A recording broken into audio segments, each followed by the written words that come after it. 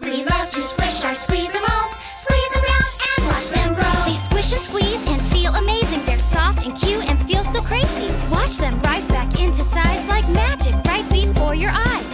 Squeezamals are unbelievably soft and squishy. You won't ever want to put them down. And they're scented too. They smell so good.